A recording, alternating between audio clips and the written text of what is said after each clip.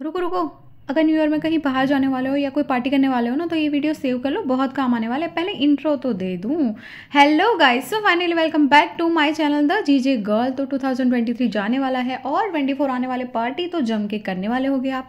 लेकिन मैं आपको एक बात बताऊँ, मेरे साथ ना बचपन में बिल्कुल ऐसा नहीं था। क्योंकि मैं ठहरी पक्की गुजराती और गुजराती फैमिली में होने के बाद ना न्यू ईयर और क्रिसमस आप नहीं मना सकते। मेरे पापा को बिल्कुल पसंद नहीं था। न्यू ईयर हम सिर्फ़ दिवाली के बाद जो बेस्ट वर्ष आता है, उसी में मनाते जो गुजराती होगा ना, उसको पता होगा ये चीज़। पर होता क्या था कि मैं भी तो मैं थी, लेकिन पापा जो थे, उनकी एक आँख होती थी न्यूज़पेपर पे तो एक आँख होती थी मुझ पे।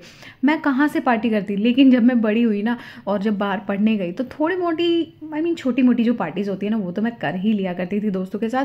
फिर एक टाइम आया कि मेरी शादी हो गई और भाई साहब शादी के बाद जो मैंने पार्टियाँ की है, वो कभी नहीं रुकी और यही वाला इंसान है जिसने मुझे जम की पार्टी करवाई है। और बचपन में ना, क्या होता था, एक आंटी थी, वो क्रिसमस सेलिब्रेट करते थे तो हर क्रिसमस पे ना वो हमें केक दे के जाते थे और चर्च से ना एक सेंटा आता था। इंसान ही था, लेकिन सेंटा बन के आता था।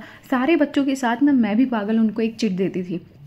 लेकिन होता क्या था कि हमेशा जो चिट में मैं टॉय रखती थी ना, वो कभी नहीं आता था। लेकिन कोई और आता था, कोई और चीज़ें आती थी तो मेरे को ऐसा लगता था कि शायद ना दूसरे बच्चों के साथ ना मेरा जो टॉय होगा या जो मैंने लिखा है ना, वो एक्सचेंज हो गया होगा। लेकिन जैसे जैसे मैं बड़ी हुई ना, तब तो मुझे समझ में आया कि इस रियल लाइफ में ना कोई कोई सेंटा होता ही नहीं है।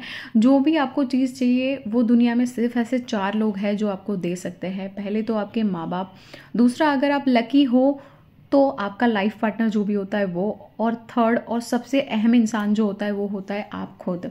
हाँ जी, जो चीज़ ना आप खुद के लिए कर सकते हो ना, वो कोई दूसरा इस जन्म में तो नहीं करने वाला है। इसीलिए सेल्फ लव ना बहुत ज़्यादा ज़रूरी है।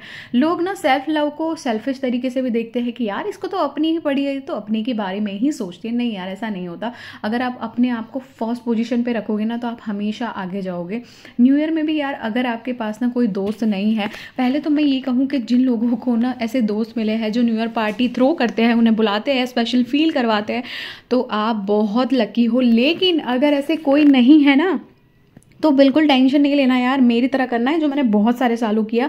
मैं क्या करती थी, अपना मोबाइल लेती थी फेवरेट स्नैक्स ले लेती थी, और फिर अपने ही साथ टाइम एंजॉय करती थी डांस करती थी।